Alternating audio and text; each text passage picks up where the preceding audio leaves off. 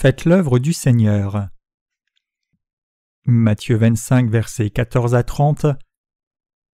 Car c'est comme un homme qui, s'en allant hors du pays, appela ses propres esclaves et leur remit ses biens, et à l'un il donna cinq talents, à un autre deux, à un autre un, à chacun selon sa propre capacité, et aussitôt il s'en alla hors du pays.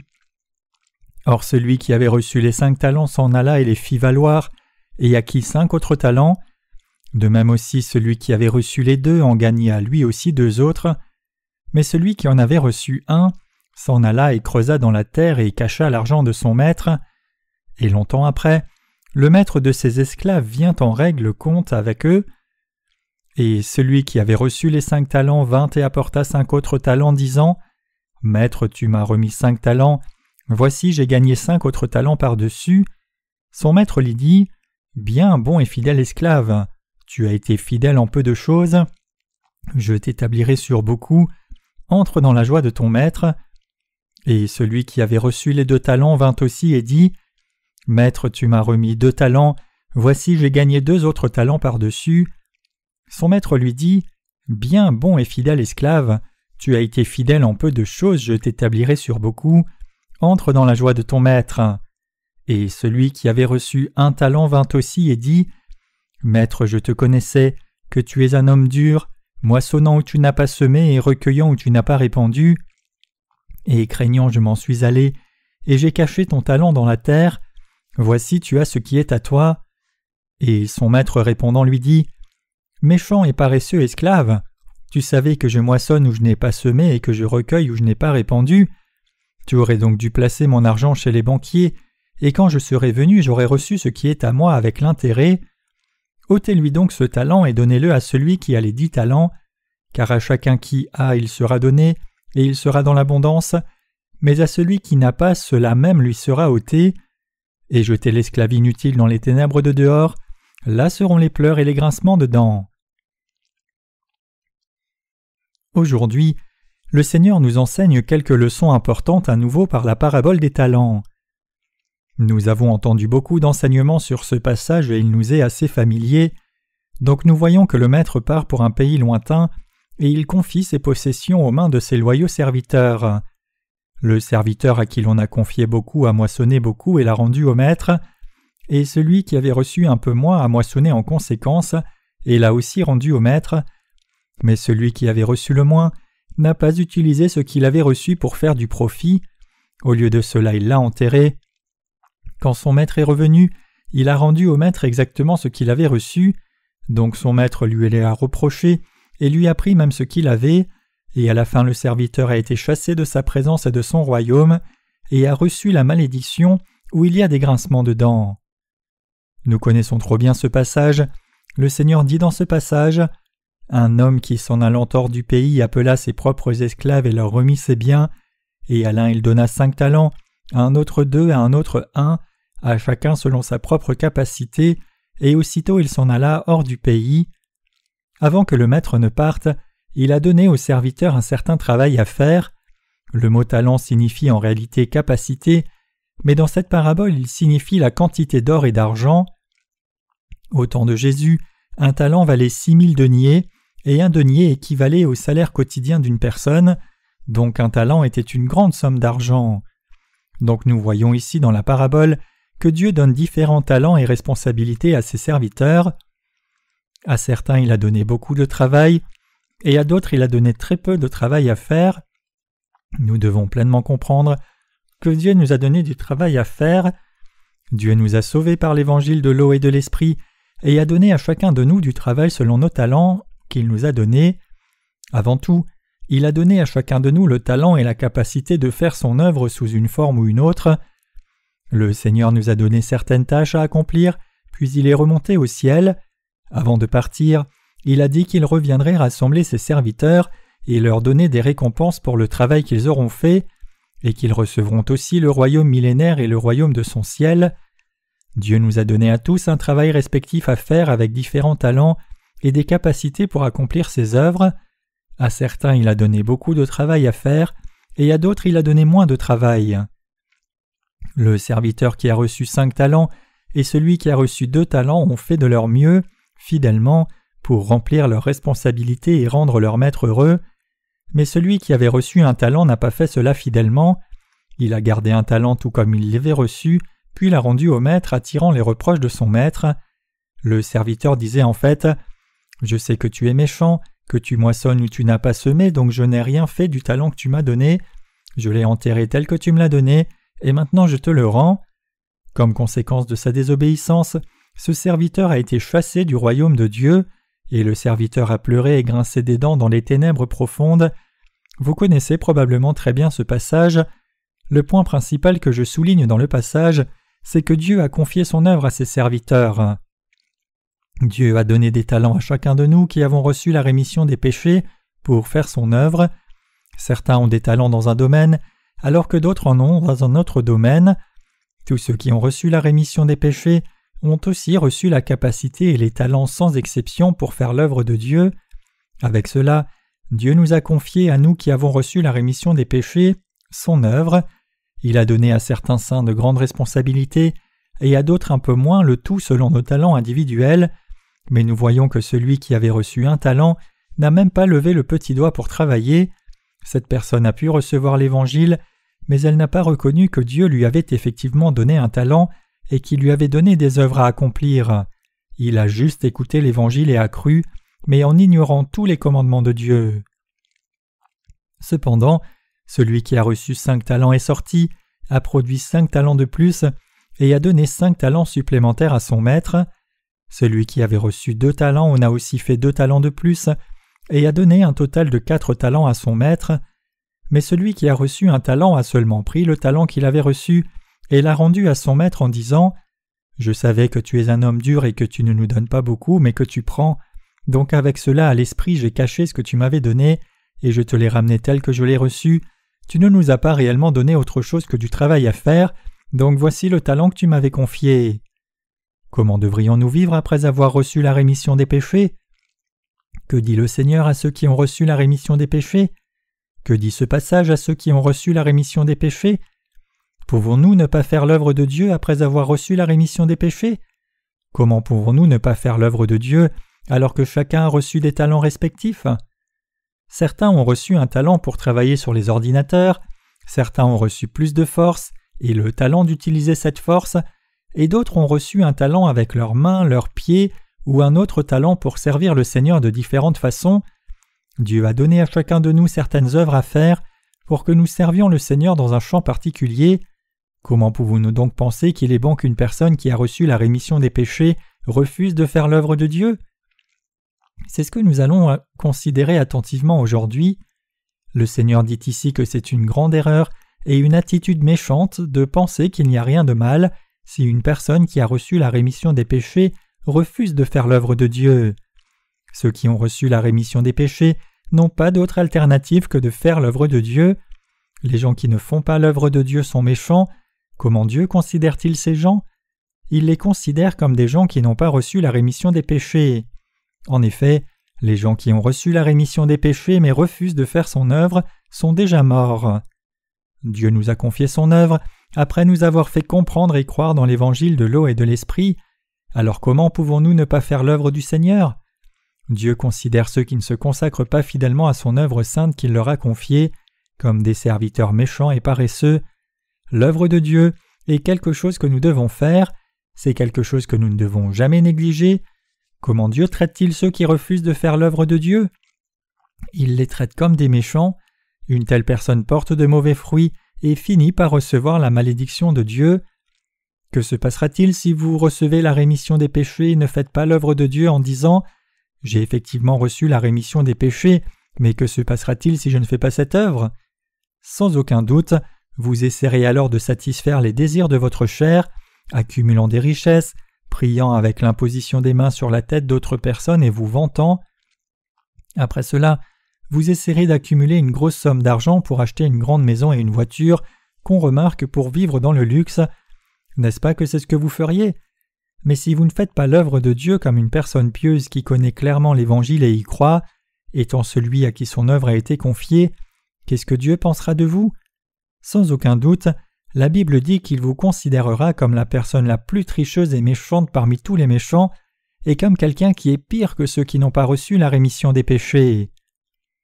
Le Seigneur dit Et celui qui ne l'a point connu, et qui a fait des choses qui méritent des coups, sera battu de peu de coups, car à quiconque il aura été beaucoup donné, il sera beaucoup redemandé, et à celui à qui il aura été beaucoup confié, il sera plus redemandé. Luc 12, verset 48. Que se passera-t-il si nous devenons négligents envers l'œuvre de Dieu et ne servons pas l'Évangile après avoir reçu le salut? Pour Dieu, nous serons comme une épine dans ses yeux, comme les enfants du serpent. Nous serons comme des gens qui tuent les âmes et le monde contre sa volonté, au lieu de sauver ces âmes précieuses comme il l'a ordonné. Ils seront jetés en enfer. Sont-ils sauvés? Quel salut Tout est nul. C'est ce que Dieu fera quand il regardera ceux qui ne servent pas l'Évangile. Même dans la façon dont sont les choses dans ce monde, à la maison, il y a des parents et des enfants, et dans une entreprise il y a des présidents et des employés, et dans une entreprise il y a des services, avec chacun un dirigeant et une équipe qui font un travail respectif. Si un individu ne faisait pas son travail respectif, comment cet individu particulier serait vu par le président de l'entreprise? Le président regarderait cette personne avec dédain. Comment le président de l'entreprise se sentirait-il si un employé était constamment mécontent, critiquant toute la société, n'ayant pas de respect pour l'entreprise, faisant des grèves et demandant des augmentations tout le temps, un tel employé serait vu comme un ennemi et serait rapidement renvoyé. Après avoir reçu la rémission des péchés, vous devez vous rappeler que ne pas faire l'œuvre de Dieu n'affecte pas seulement cette œuvre, mais cela empêche d'autres personnes de recevoir le salut à cause de notre désobéissance. D'autres personnes peuvent recevoir la rémission des péchés si nous qui avons reçu la rémission des péchés nous nous donnons à l'œuvre du partage de l'Évangile avec ceux qui cherchent la parole de Dieu pour recevoir la rémission des péchés. Le Seigneur dit qu'il nous questionnera sur le péché de ne pas avoir témoigné de l'Évangile si nous négligeons ce travail. Les conséquences de ces actions, c'est que nous empêcherons les gens de recevoir le salut. En Ézéchiel, nous pouvons voir que Dieu demandera des comptes à la sentinelle si la nation est prise à cause de la négligence de la sentinelle dans son devoir. Ézéchiel 33, verset 6. J'ai traversé à un moment un temps très difficile après avoir reçu la rémission des péchés, et j'ai même pensé Je devrais laisser mon travail pour la paix de mon foyer, je devrais fermer ma bouche pour la cause de ceux qui m'entourent, ils seront plus réconfortés si j'arrête de servir l'Évangile. Que se serait-il passé si j'avais succombé à une telle situation et fermé mes lèvres? D'abord, ma famille n'aurait pas entendu cet Évangile. Deuxièmement, ceux qui sont autour de moi n'auraient pas entendu cet évangile non plus. Troisièmement, ceux qui sont dans le monde entier n'auraient pas entendu l'évangile. J'ai vraiment lutté sur cette question pensant dois-je me taire et rester avec la dénomination pour mon propre confort, ou dois-je servir l'évangile et faire l'œuvre de Dieu, même si cela veut dire que je ferai face à des difficultés, souffrirai de persécutions et serai chassé de la dénomination? Après avoir beaucoup réfléchi et observé sérieusement, j'ai décidé d'être du côté du Seigneur faisant ces déclarations à voix haute. Je servirai l'Évangile, je ferai l'œuvre de Dieu, il n'y a pas de vrai Évangile qui se trouve dans le monde, comment puis-je alors me taire alors que cet Évangile ne se trouve nulle part? Je connais cet Évangile, et j'ai reçu la rémission de mes péchés, mais il y a tant de gens qui ne connaissent pas l'Évangile et n'y croient pas, comment peuvent-ils entendre l'Évangile si je ne partage pas l'Évangile? Donc après cela j'ai pris la décision finale, j'ai décidé résolument pensant en moi-même, je dois faire l'œuvre de Dieu, je ferai l'œuvre de Dieu pour partager l'Évangile dans le monde, je crois que c'est ce que je dois faire même si c'est très difficile. Même si j'avais beaucoup de difficultés au début, je pensais que ce n'était rien à côté de ce que Moïse avait dû surmonter. Je pensais Moïse a laissé son palais égyptien avec toute sa richesse et est parti dans le désert de Madian pendant quarante longues années, gardant des brebis et suivant le Seigneur. Qu'est-ce que je fais en comparaison à cela? De plus, une personne née de nouveau doit travailler pour une cause juste et grande dans ce monde plutôt que de vivre pour sa propre petite envie égoïste. Après avoir fixé mes pensées pour suivre le Seigneur quoi qu'il arrive, j'ai eu la paix dans mon cœur. C'était difficile et cela ne me réjouissait pas, mais c'était la bonne décision. Donc j'ai commencé à croire en l'évangile de l'eau et de l'esprit, servant l'évangile et faisant l'œuvre de Dieu. En conséquence de mon engagement, Dieu m'a donné beaucoup de travail à faire, et il m'a dit de partager cet évangile dans le monde entier. Il m'a aussi dit Tous les gens dans le monde ne connaissent pas l'évangile de cette vérité, même les théologiens et les pasteurs, tout comme les chrétiens du monde entier ne savent pas cela. Armé de ce glorieux et précieux évangile et des instructions de Dieu, j'ai décidé que je devais confronter tous les théologiens et les dénominations. Par là, j'ai compris la volonté de Dieu et décidé de la suivre. Certains de ces gens m'ont dit Es-tu Luther? Es-tu si grand que tu dois penser au monde entier et tous les gens qui y sont? Occupe-toi donc de toi-même. Bien, je ne suis pas Martin Luther. Martin Luther était un réformateur religieux. À l'époque, les nobles en Allemagne payaient beaucoup de taxes au pape catholique, y inclus les rois en Europe. Ces lois religieuses strictes de l'Église catholique romaine valaient sur la plupart des nations occidentales de ces temps-là, et la violation de cette loi n'était pas acceptée. Ainsi, le pouvoir du pape avait atteint son zénith. L'Église anglicane a été établie en Angleterre parce que le pape n'approuvait pas le second mariage du roi Henri VIII d'Angleterre. Savez-vous que Martin Luther était un prêtre catholique? Il y avait un gouvernement autonome à l'intérieur de Rome qui s'appelait le Vatican et le pape régnait absolument sur cette ville. Ils avaient besoin d'une somme d'argent extraordinaire pour construire la cathédrale Saint-Pierre. Donc pour collecter des fonds, le pape Léon X a ordonné à ses hommes de vendre des indulgences. Ils vendaient des indulgences par la force en disant Le papier que vous achetez sortira vos parents de l'enfer et les amènera au purgatoire s'ils devaient aller en enfer, et en donnant de l'argent pour cette cause, cela les sortira du purgatoire et les amènera au ciel. Donc ces gens payaient beaucoup d'argent pour cela. Martin Luther vit cela et pensa que c'était très mal et corrompu, donc il transmit les 95 thèses qui argumentaient sur les erreurs de l'Église catholique de l'époque. Cela a causé un problème sérieux et ils l'ont appelé pour un défi religieux.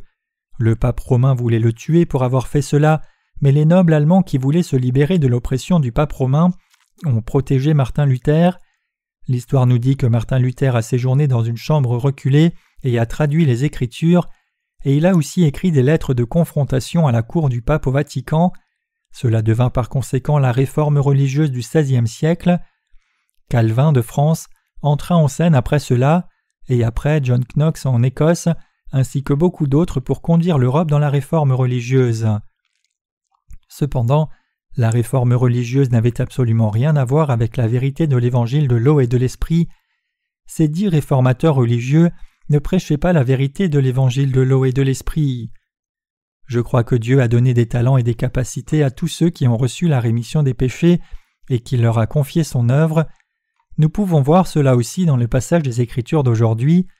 Le monde ne pourrait pas recevoir le salut si tous ceux qui sont nés de nouveau véritablement recevaient seulement le salut puis oublier l'œuvre de Dieu.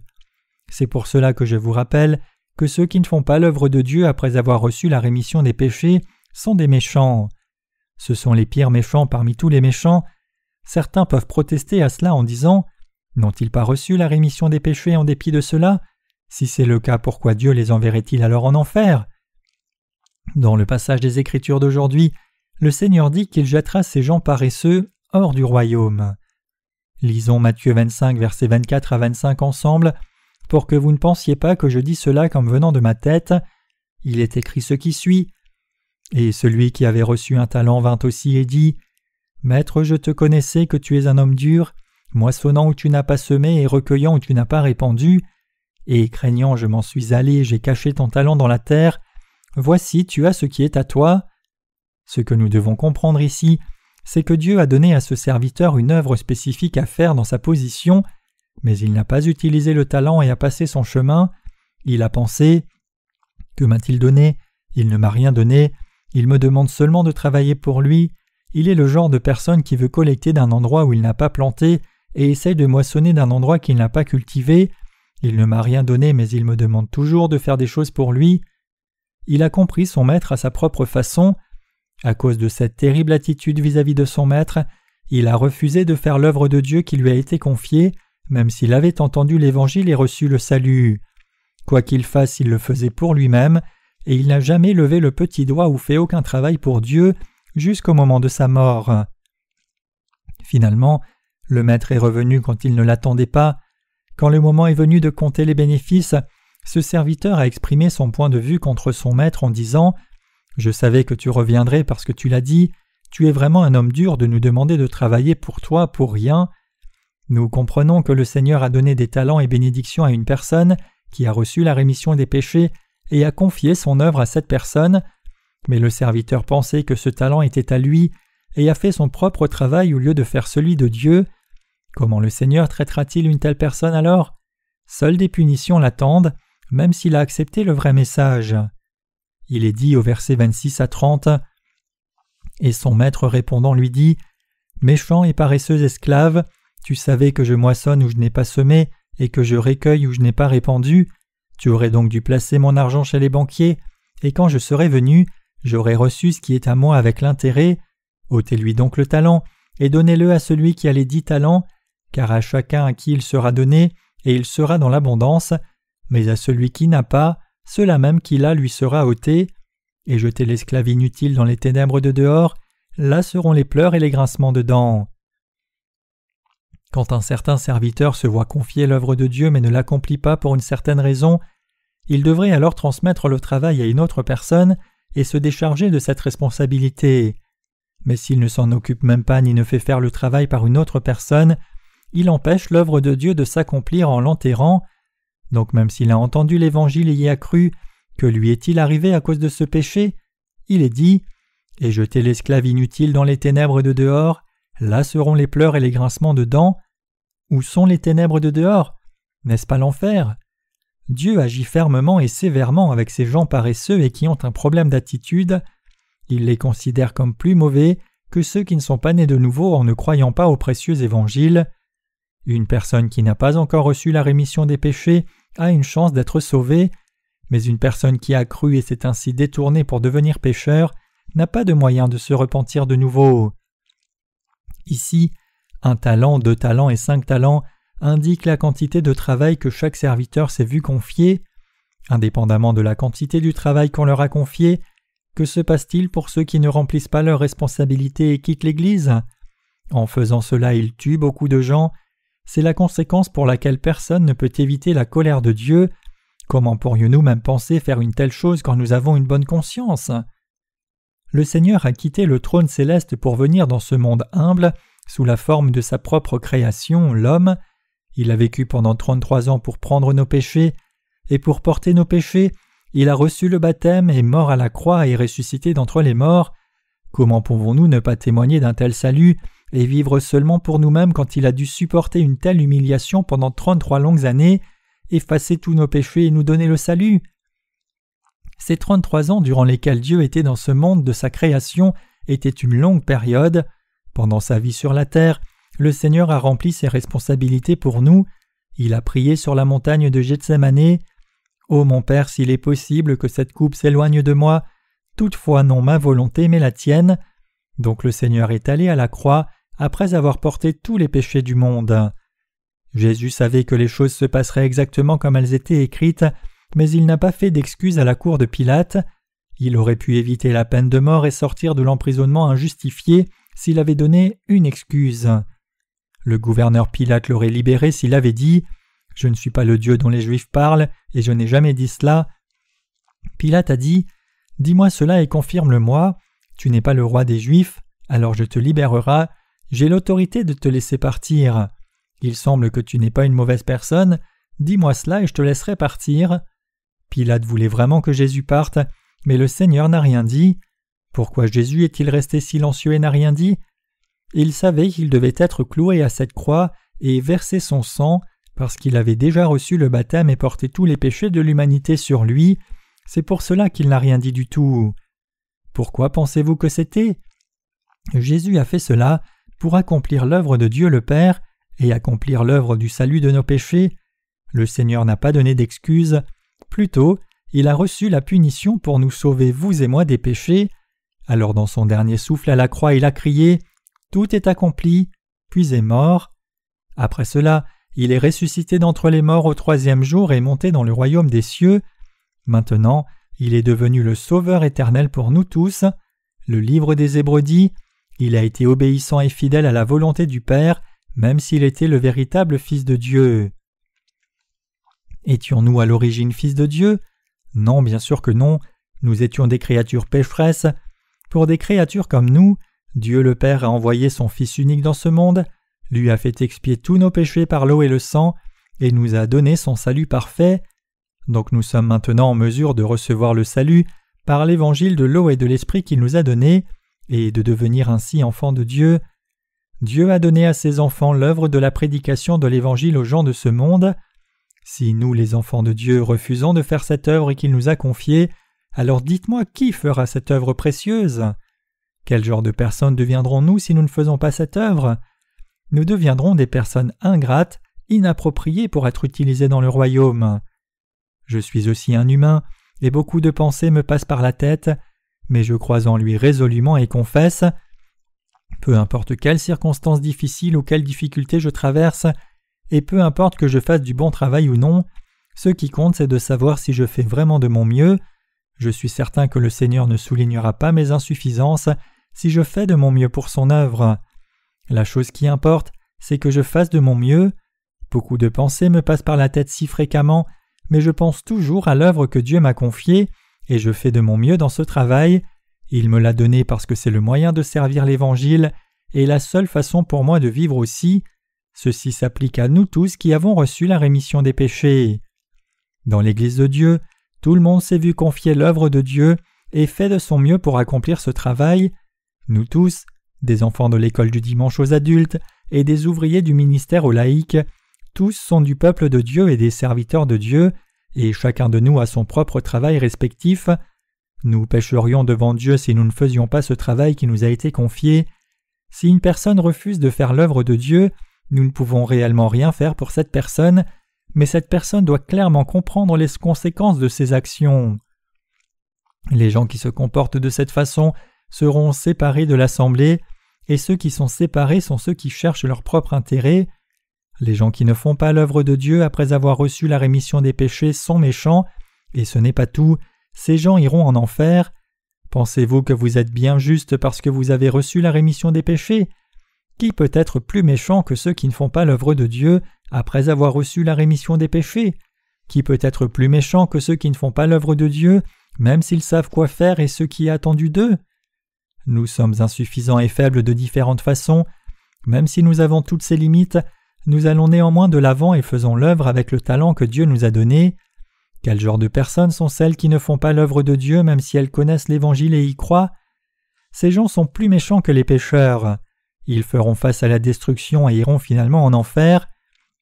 Je comprends que parfois un saint né de nouveau puisse se décourager à cause des insuffisances de quelqu'un après avoir reçu la rémission des péchés et soit épuisé de l'œuvre de Dieu. Cependant, je ne peux pas comprendre pourquoi les gens quittent l'Église avec des attitudes en disant Je ne ferai plus l'œuvre de Dieu, plutôt je vais maintenant me concentrer sur mon travail. Certains disent qu'ils ont reçu le salut même s'ils ne servent pas l'Évangile, mais c'est un mensonge et ce n'est que leur propre pensée.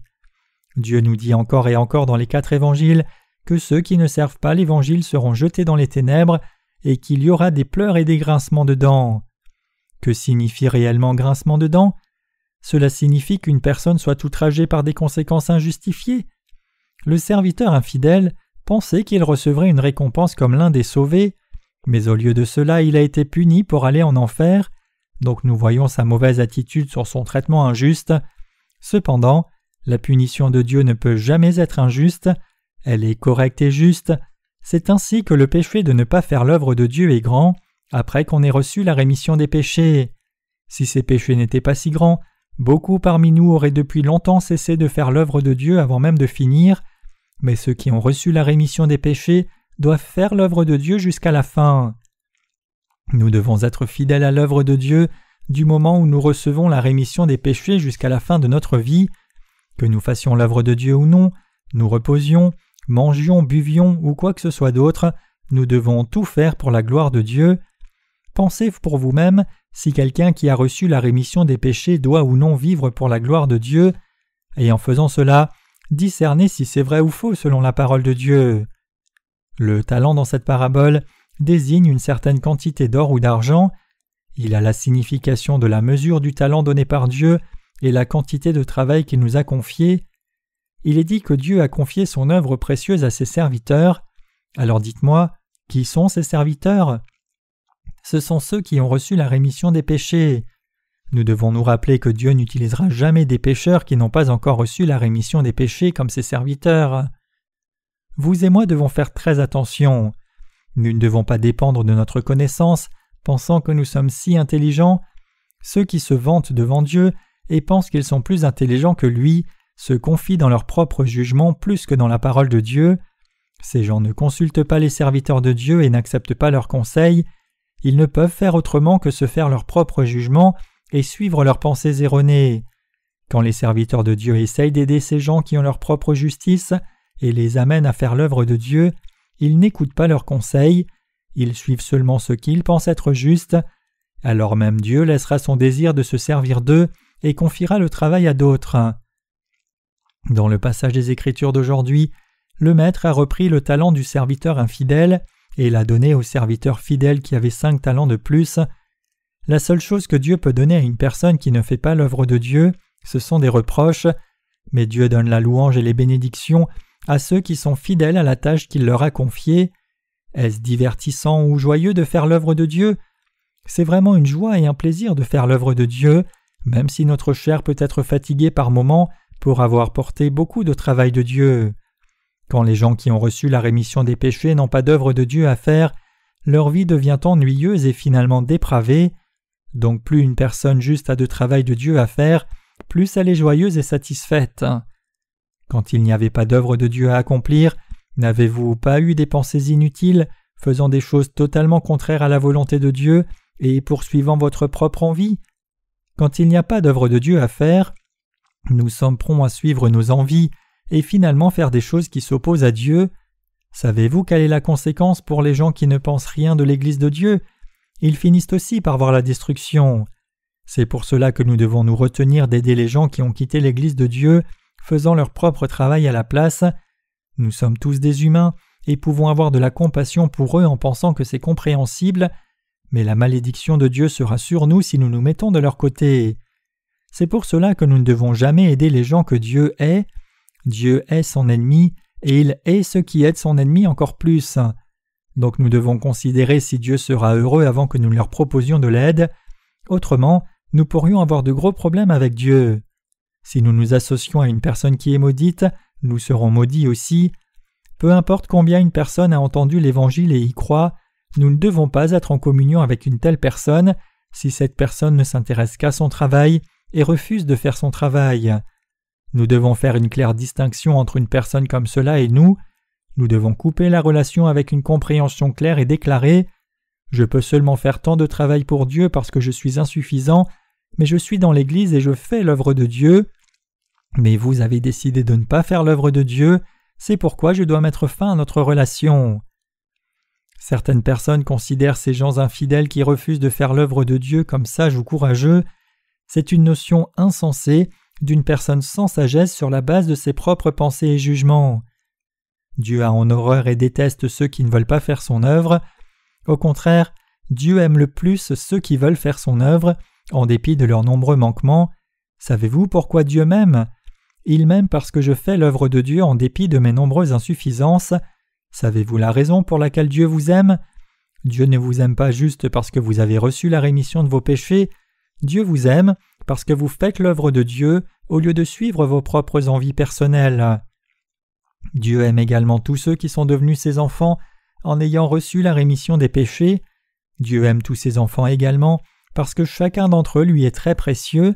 Dieu aime réellement ceux qui font volontairement l'œuvre de Dieu le Père dans sa présence. Qu'ils fassent beaucoup ou peu, ceux qui sont fidèles à l'œuvre qui leur est confiée récolteront finalement des fruits abondants. Tout peut sembler bien aller pour ceux qui ne font pas l'œuvre de Dieu, mais ils recevront des reproches sévères et des malédictions de Dieu, parce qu'ils sont comme des épines à ses yeux. À la fin, ils échoueront dans tout ce qu'ils font. Est-il difficile de faire l'œuvre de Dieu? Si nous pensons à cela une minute avec une pensée claire, travailler dans ce monde est encore plus difficile que travailler à l'œuvre de Dieu. Nous devrions travailler plus dur que cela si nous voulions gagner trois mille dollars par mois dans le monde, nous pourrions faire l'œuvre de Dieu ensemble, mais nous devrions finir notre propre travail dans le monde. C'est une grande bénédiction de faire l'œuvre de Dieu ensemble dans l'Église de Dieu, parce que nous pouvons nous consacrer à une cause juste, et tous nos besoins quotidiens sont pris en charge aussi. Vivre dans ce monde sans faire l'œuvre de Dieu est une vie maudite, donc il n'y a pas de raison d'envier ce genre de vie, peu importe combien il y a de succès. Les gens peuvent soudainement perdre tout ce qu'ils ont à cause d'une maladie qui peut utiliser dix fois plus que ce que nous gagnons durant toute notre vie. C'est malheureusement la vie. Pensez quelle grande bénédiction Dieu nous a donnée, nous qui vivons de cette manière. Dieu a béni son Église en notre temps, il nous a bénis parce que nous sommes ensemble à faire son œuvre dans son Église, après être nés de nouveau doués d'esprit. Comme c'est dit dans la parole de Dieu, ce n'est pas parce que nous sommes bons, Dieu est heureux de bénir son Église, parce que nous qui sommes devenus enfants de Dieu par la foi, menons une vie qui plaît à Dieu. Les gens qui ne font pas l'œuvre de Dieu après avoir reçu la rémission des péchés sont étranges. Dieu gère ces gens-là séparément parce qu'ils tuent d'autres personnes. Nous devons faire très attention. Nous ne devons pas vaciller même si le diable ne nous laisse pas et essaye de distiller ses pensées et ses désirs de la chair en nous, nous faisant vaciller. Vous et moi sommes les justes. Nous sommes les justes qui faisons l'œuvre de Dieu. Vous et moi avons reçu la rémission des péchés et sommes devenus le peuple de Dieu, et nous entrerons dans le glorieux royaume de Dieu et jouirons de la vie éternelle et des bénédictions après avoir fait l'œuvre de Dieu fidèlement dans ce monde. C'est pour cela qu'il est dit en Romains 8, verset 18 que nos épreuves dans ce monde ne peuvent se comparer à la gloire dont nous jouirons à l'avenir. Nous passons des épreuves pour un peu de temps dans ce monde en faisant l'œuvre de Dieu, parce que nous sommes ses enfants qui jouiront de sa gloire et vivront merveilleusement dans cet endroit magnifique pour toujours. Même si ceux qui sont nés de nouveau peuvent vivre des difficultés, une vie comme juste est un privilège spécial parce que Dieu a donné son œuvre seulement à ceux qui ont reçu la rémission des péchés. C'est très gratifiant de faire l'œuvre de Dieu parce que Dieu ne confie pas son œuvre à n'importe qui. Je réinsiste juste sur quelque chose que vous savez déjà très bien. Il y a peu de temps, un ouvrier du ministère dans notre mission m'a dit qu'il allait quitter le ministère, trouver un travail normal, puis revenir à l'Église comme laïque. C'est une illusion de penser qu'une personne qui a servi le Seigneur pleinement puisse simplement arrêter, avoir un travail normal, fréquenter l'Église et faire l'œuvre de Dieu seulement dans son temps libre. Il est plus difficile d'avoir un travail, de fréquenter l'Église et de servir le Seigneur que de seulement vous consacrer vous-même entièrement à l'œuvre de Dieu.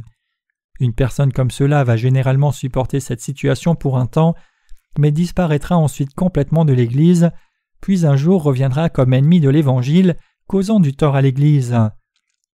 Certaines personnes disent même Je vais faire l'œuvre de Dieu en dehors de l'Église de Dieu, mais comment une personne peut-elle faire l'œuvre de Dieu hors du lieu de travail de Dieu? Et certains autres disent aussi qu'ils veulent soutenir l'œuvre de Dieu pour l'évangélisation du monde, en gagnant des richesses du monde et les envoyant à l'Église, même s'ils quittent l'Église. L'Église de Dieu n'a pas besoin de ces dons, Dieu n'utilise pas ce genre d'argent, l'argent peut être pourvu à tout moment quand Dieu bénit. Vous et moi avons une responsabilité envers lui comme enfants de Dieu, c'est une belle responsabilité, car nous travaillons à un endroit qui nous est confié, mais il peut y avoir des moments où nous voulons vivre pour nous-mêmes. Dans ces moments, nous devons fortement vaincre la pensée disant Au nom de Jésus, je te commande Satan, arrière de moi. Dieu nous a donné le salut, et il veut utiliser nos mains, nos pieds, nos bouches et tout le reste pour son œuvre. Si nous voulons servir l'œuvre de Dieu, nous devons donner tout ce que Dieu nous a donné pour accomplir la volonté de Dieu. Ne pensez pas que tout peut se régler seulement avec de l'argent. Je plains ces ouvriers du ministère qui pensent abandonner l'œuvre de Dieu et quitter l'Église. Pour eux donc, je leur conseille de ne pas quitter leur ministère que l'Église de Dieu leur a confié. J'exhorte ceux qui ont déjà quitté le ministère et sont repartis travailler dans le monde, parce qu'ils cesseront certainement de fréquenter l'Église, même s'ils disent qu'en tant que laïcs ils serviront l'Évangile dans les choses matérielles. Nous devons faire l'œuvre de Dieu si nous fréquentons son Église. Les gens qui viennent à l'Église seulement pour le culte et partent intelligemment tout de suite après le culte quitteront finalement l'Église. Donc vous devez penser à ce que Dieu veut que vous fassiez et commencer à le faire, que vos prédécesseurs dans la foi vous demandent de faire quelque chose ou non. Je ne vous fais pas de reproches, je vous rappelle seulement que ceux qui refusent de s'asseoir en ne faisant pas son œuvre seront punis par Dieu et considérés comme des pécheurs. Qui recevra le salut si aucun de nous ne fait l'œuvre de Dieu? Quand ceux qui sont supposés faire l'œuvre de Dieu ne font pas le travail, d'autres ne pourront pas recevoir le salut. Ces gens recevront la punition comme de méchants pécheurs parce qu'ils interrompent et interfèrent en réalité avec l'œuvre de Dieu. Le Notre Père dit Notre Père qui es aux cieux, que ton nom soit sanctifié, que ton règne vienne, que ta volonté soit faite sur la terre comme au ciel. Donc comme c'est la volonté de Dieu, le royaume de Dieu doit aussi s'accomplir dans ce monde. Le royaume de Dieu signifie l'Église de Dieu, et accomplir son royaume signifie témoigner de l'Évangile dans le monde entier pour que beaucoup d'âmes reçoivent la rémission des péchés. Dans l'Église de Dieu, tous les croyants se réunissent et louent Dieu en l'adorant et partageant la communion les uns avec les autres. Alors Dieu bénirait-il ceux qui ne font pas cette œuvre? Le monde est le royaume du diable, donc il n'est pas possible d'établir le royaume de Dieu en faisant des alliances avec le monde. Ceux qui travaillent seulement pour eux-mêmes deviennent comme des débauchés qui ne travaillent pas quand leur estomac est plein. Nous pouvons diligemment faire beaucoup de travail parce que nous le faisons pour les autres. Nous ne pourrions pas faire autant si nous le faisions pour nous-mêmes. Pour ceux qui travaillent seulement pour eux-mêmes, ils vont gagner beaucoup d'argent s'ils travaillent comme servant Dieu, mais seront-ils capables de faire beaucoup de travail s'ils vivent seulement pour eux-mêmes? Si les gens vivent seulement pour eux-mêmes, ils sont prompts à travailler seulement pour leurs besoins. Nous faisons l'œuvre juste et c'est gratifiant, et parce que c'est gratifiant, nous continuons de faire le travail diligemment. Il n'y a pas beaucoup pour ceux qui vivent seulement pour eux-mêmes. Ces gens sont inutiles, indépendamment de l'argent qu'ils peuvent avoir. Quand je vivais à Sokcho City, dans la province de Gangwon en Corée, j'ai eu une conversation avec une personne riche qui possédait un grand théâtre dans cette ville. Bien qu'il ait eu des millions de dollars, il disait qu'il achetait des nouilles avec l'argent qu'il avait gagné en récupérant des objets recyclables dans la rue, ramenait un radis qui avait poussé comme accompagnement et mangeait cela avec sa boisson. Il dit qu'il avait bâti sa richesse de cette manière. Je voulais lui dire J'ai entendu que vous avez beaucoup d'argent, n'est-ce pas? Pourquoi ne me donnez-vous pas un milliard, ce qui équivaut à un million de dollars? Je l'utiliserai pour une cause utile. Quel bien y a-t-il à juste garder son argent? Cela ne prend de sens que si vous l'utilisez pour une cause juste. Je l'utiliserai pour la cause juste en votre nom.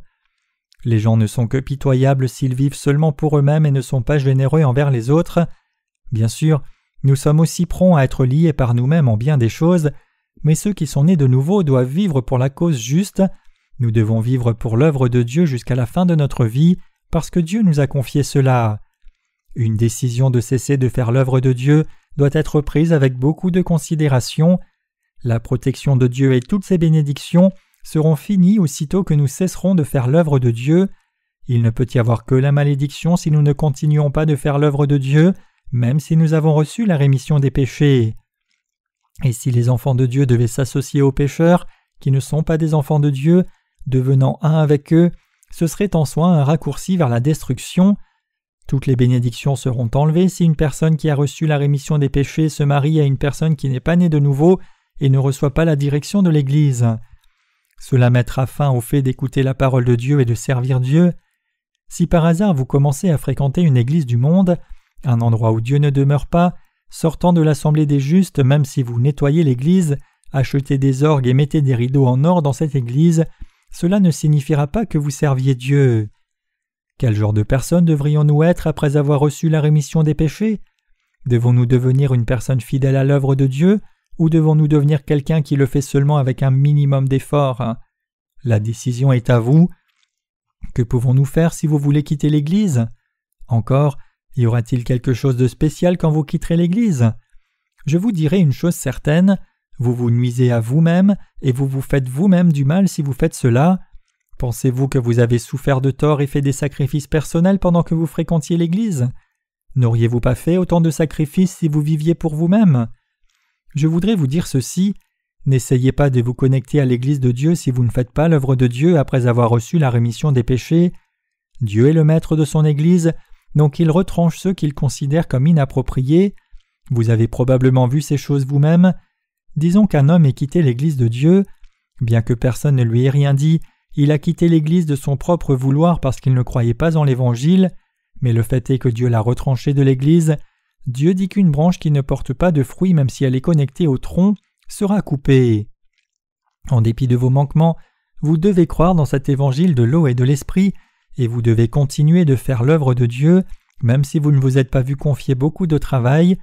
Nous devons rencontrer le Seigneur après avoir fait l'œuvre du Seigneur tranquillement. Pensez-vous que nous pouvons aider une personne à avoir du succès dans ce monde seulement en donnant de l'argent à cette personne? Vous devez comprendre et garder votre cœur, parce que ceux qui sont nés de nouveau seront aussi retranchés s'ils deviennent amis avec une personne qui ne fait pas l'œuvre de Dieu. Dieu sait tout.